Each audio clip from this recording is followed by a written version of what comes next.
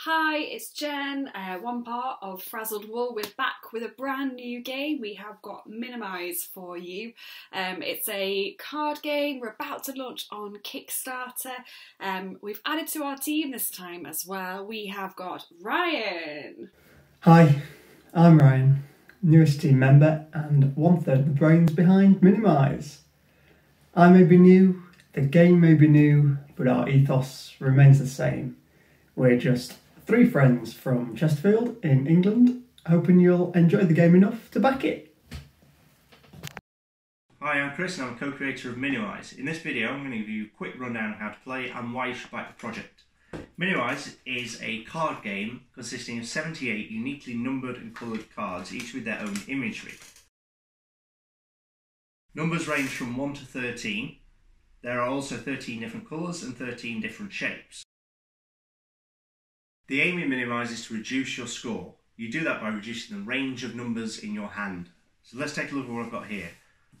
I've got a 6, a 1, an 11, a 13, a 5 and another 6. The highest card there is 13 and the lowest card is 1. So I've got a range of 12. The other cards don't matter. However, I've got two sixes, which gives me a pro point, and I take that off of my range to give me a minimised score of 11, which is not very good. On my turn, I have to draw from one of the three draw piles. Now the 10 looks pretty good because that's close to some of the numbers I've got in my hand already, so I'm going to take that. I then have to discard a card to get back down to 6. I'm going to discard the 1 because that sticks out from my range. Now let's look at what I've got.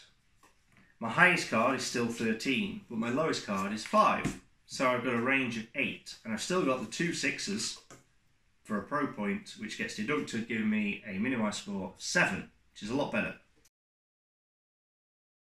However, I've just discarded a 1, which is one of the action cards. Discarding a 1 at any time means all players have to pass one card at random to the player on their left.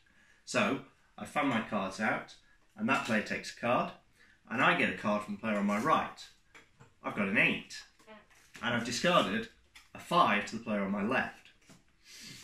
So what has that done to my score? Well, I've still got a high card of 13, but my low card is now 6, giving me a range of 7. And I've still got the two sixes for the pro point, which gives me a score of 6.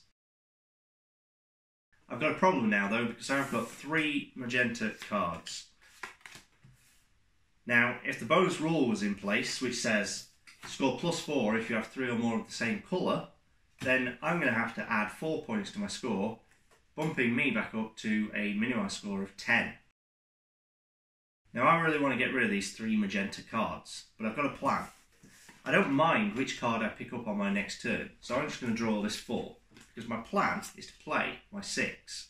6 is another action card, which means all players pass all 6 cards to the player on their left. So goodbye bad cards.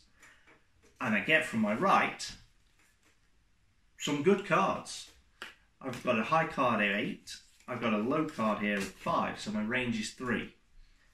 I've got two 5s, so I get a pro point for that. And I've got three 8s, so I get 3 pro points for that.